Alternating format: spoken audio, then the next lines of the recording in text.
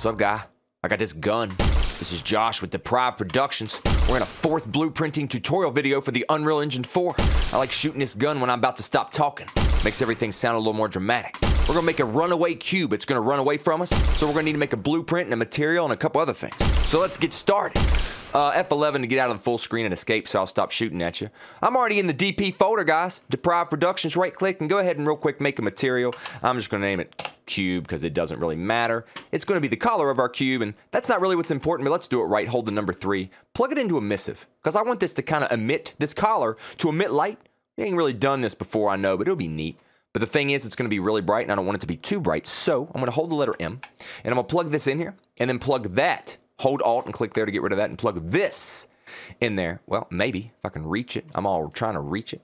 Go in here and multiply it by 0.03. That, that, that, that way it doesn't emit too much light. Yeah, it probably looks a little weird. You're like, bro, it's a little dark. Relax. Just check it out. Calm down. Uh, we need to create our uh, create our uh, blueprint class now. Actor. And I'm going to name it Runaway Cube because that's what it's going to be. Runaway underscore cube, uh, BP. And I spelled all kind of stuff wrong probably, but I don't care. So let's uh, create a component, right? Add a component and make sure it's a static mesh. And we'll just go ahead and get our cube. Uh, I'm going to name it cube.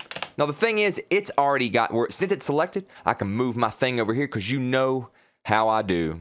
I know. I've said it a lot. It doesn't matter. But what I can do is since I have the starter content on the project, which I hope you do as well, we can go over here to the content, go to starter content, go down to shapes. You got the cube, boom, drag it over here, drag it on there. There it is. Now the thing is, we need that material. What's that?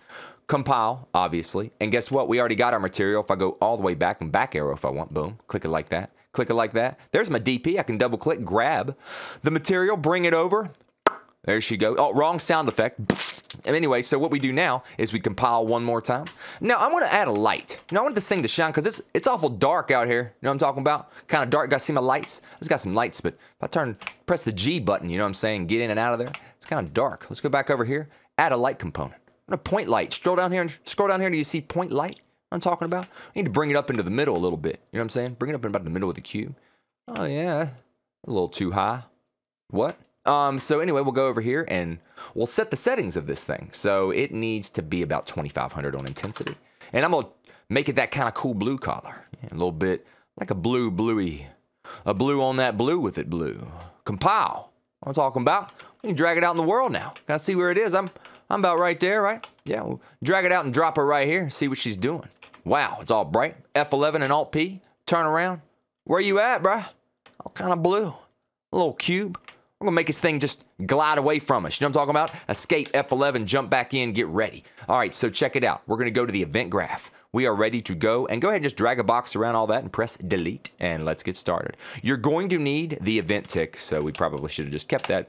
Uh, just keep it up there for now, okay? So we need two things. One, type in the word get actor location. Well, first, don't accidentally do that. Uh, delete that. Right click, get actor location. And I see it right here. So I'm gonna, I'm gonna grab it and I need to make a copy of it. So control C and control V.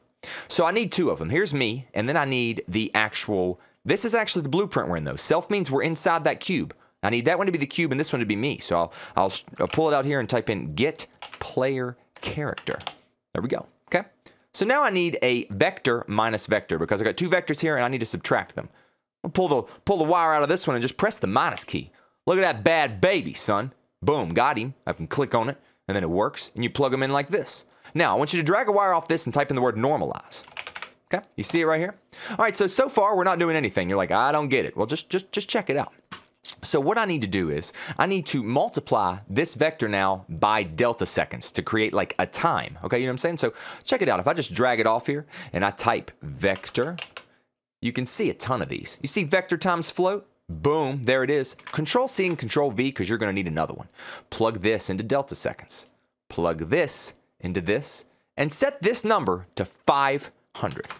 That's going to be the speed multiplied by the seconds. I'll, I'll explain that here in a second. Now we're actually going to drag this off and just press the plus symbol. And if you do, you'll see that. Vector plus vector.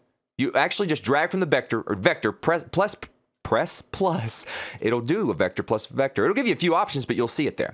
We are actually going to take this value here and add it to all of those. And then literally just do a set actor location of the self, of the cube, right? lot going on there, right? You're like, why, why did you, why did, why did you do all that? Now the thing is, I don't want to do this just yet because there's one more thing we need to do. Okay, because we actually don't want this thing to move in every direction away from me. We want it to run, okay? And this is going to tell it to subtract our distances. But the thing is, we don't want it to run on the Z. That would be bad. So check this out. I'm going to go from here and type break vector. See that? That means I'm going to need to go from here, though, and type in, or pull out and type make vector. See it?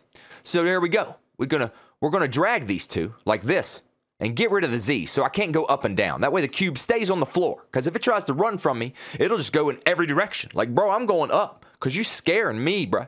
So, I mean, we're going to jump back in here real quick. And But the thing is, Z has to be something. It needs to be this right here, this get actor location. It needs to be its Z. So I'll just grab this, click, do the copy and paste thing, pull this, and then pull this and plug it into the Z. You're like, what? Don't worry, bruh. I got you. Now I'm gonna do one more thing.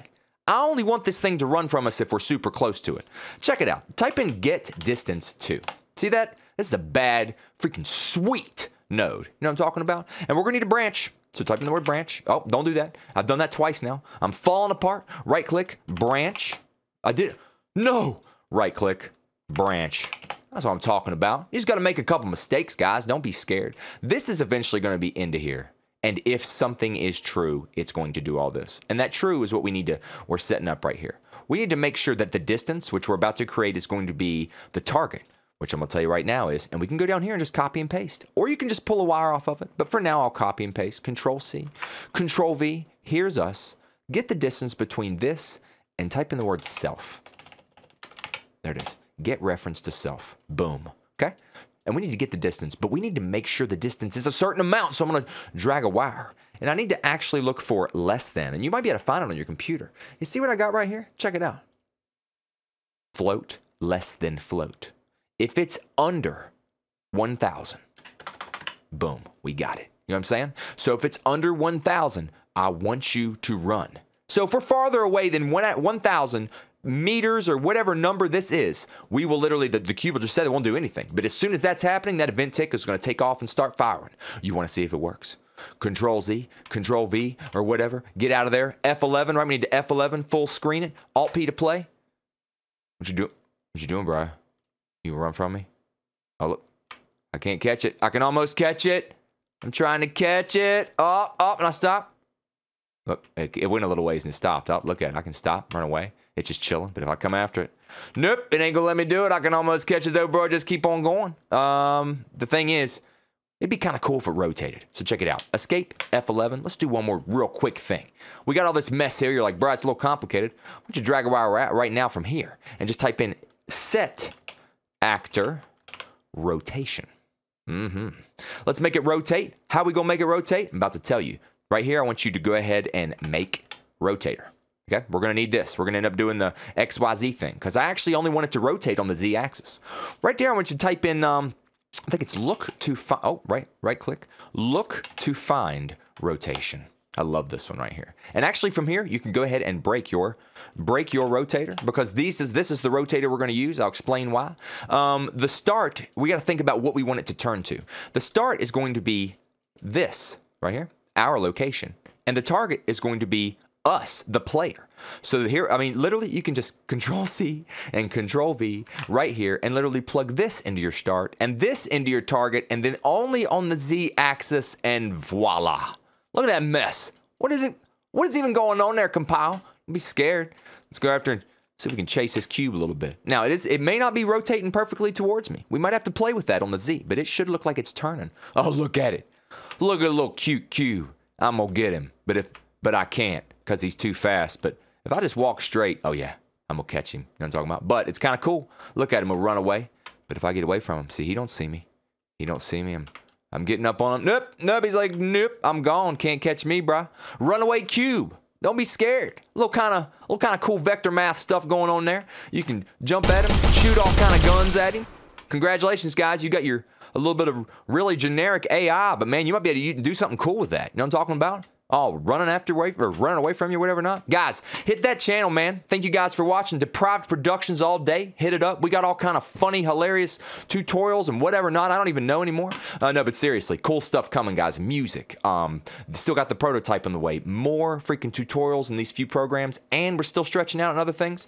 Hope you guys will hit us up, man. Please subscribe. Hit the Facebook channel. Facebook page, whatever they're called these days. But yeah, man, hit me up if you have any, or if you have any questions. Um, I hope you learned a little something from this. A little blueprint in action. We're getting deeper into it. We'll continue to get a little more complicated. You know what I'm talking about? But guys, hit me up if you need anything. If not, peace.